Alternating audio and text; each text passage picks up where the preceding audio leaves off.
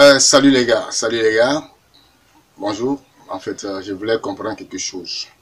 Euh, ce matin, il y a un ami qui m'a envoyé cette image.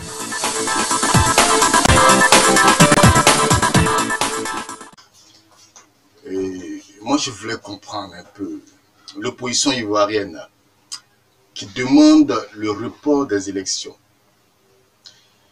J'ai demandé à mon ami, c'est pourquoi.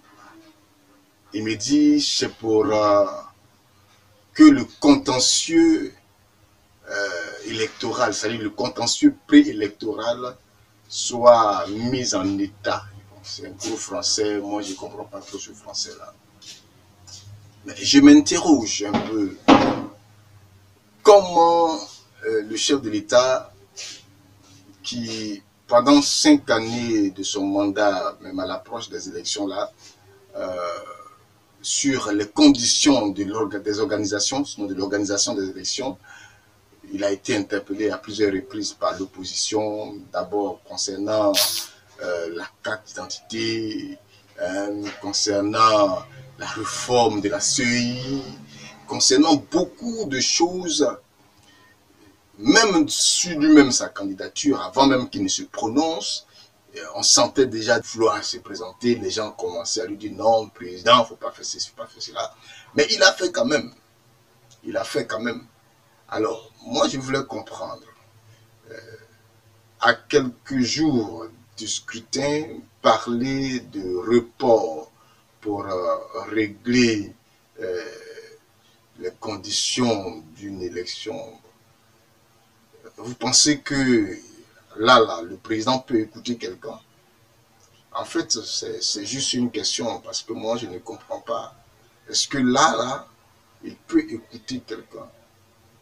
Je pense que euh, il faut qu'on essaie de, repenser un peu nos stratégies. C'est vrai, euh, nous ne sommes pas pour la guerre. Personne ne veut la guerre. Et la guerre, elle est meurtrière. Les gens qui n'ont jamais vécu la guerre, c'est ces personnes-là qui peuvent. Mais en 2010, nous étions au feu de l'action, nous avons vécu les situations, c'était difficile. C'est pas bon. On ne peut pas souhaiter la guerre.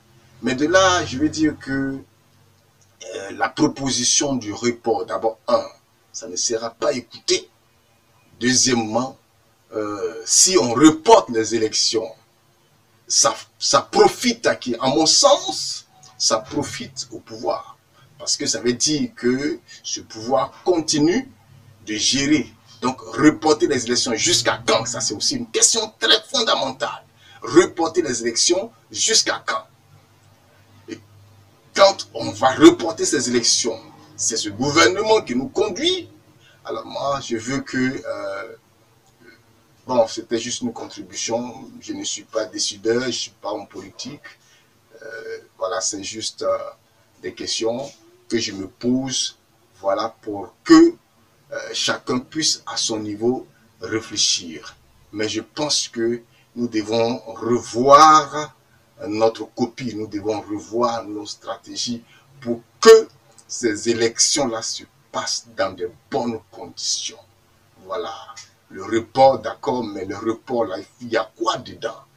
Il faut, déballer le contenu de cette proposition de report pour que les Ivoiriens puissent comprendre, reporter les élections. Comment est-ce qu'on les, reporte?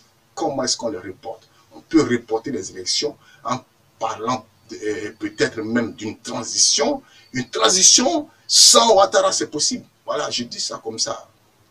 Si on doit faire une transition où c'est encore la même équipe qui doit nous conduire, bon, je pense que euh, ça ne sert à rien. Voilà, ça ne sert à rien. Donc, euh, voilà, c'était juste une contribution, toujours dans les réflexions. Shalom à vous.